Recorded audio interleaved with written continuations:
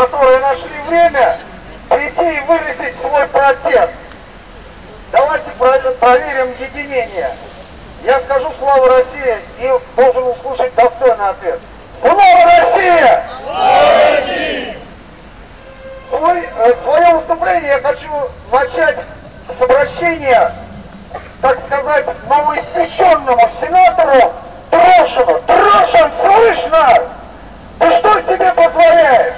Ты что себе возомнил?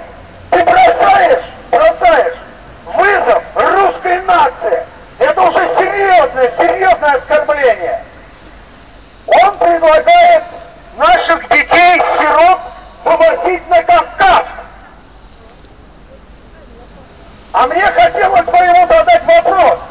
А может те деньги, которые ты собрал вместе со своей шайкой, не потратить ли на такой вопрос и изучить, а где родители этих детей?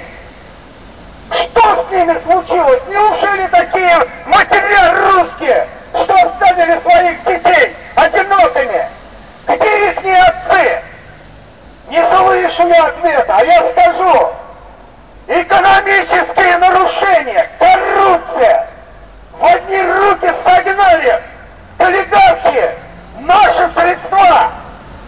Обратиться следует к олигархи и сказать, ребята, вы не зажрались ли, а? Может, вы поделитесь теми деньгами, на которые будут на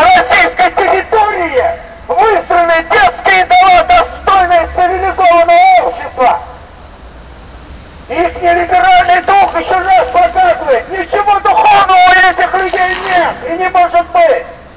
Пользуясь случаем, я также обращусь к духовным отцам православной церкви.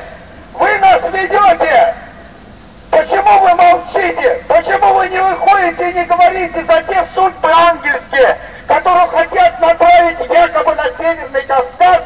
Там что? Центр земли всей культуры – это пощечина нашей русской нации. Со своих детей мы пойдем до конца, чтобы нас не ждало. Он называет цифры 300 тысяч до миллиона тратится на одного ребенка в год. Дорогой Торшин, в кавычках, а куда ты дел ту дельту, которую ты умалчиваешь? 300 и миллион. Мне предоставилось в том году съездить в один из детских домов. Так уж судьбоносно вышло, что вот сейчас этот митинг, и я ездил, да? Я вам скажу, господа, я приехал в этот детский дом, там разорение, разорение полнейшее. Поговорил с директором, с женщиной, с Еленой. Она сказала, что Собянин якобы выделяет средства, обещает. Нет там ничего. Там стоит один компьютер и все травой. Я не хочу хвалить здесь коммунистический строй. Я жил при этом строе. У них была борьба, железный занавес.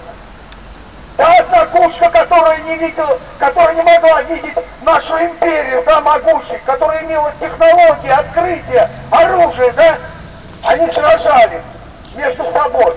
Так вот, коммунисты даже себе это не позволяли. Они не теряли, может и не от доброго сердца, но детские дома были. И оттуда выходили достойные дети, которые служили в армии, были офицерами и защищали просторы нашей империи. Они делают все, чтобы развалить наше государство, чтобы мы были придатком экономических забросов Запада. И те предатели, которые сейчас сидят в Кремле, федерации, депутаты, они не хотят брать на себя ответственность за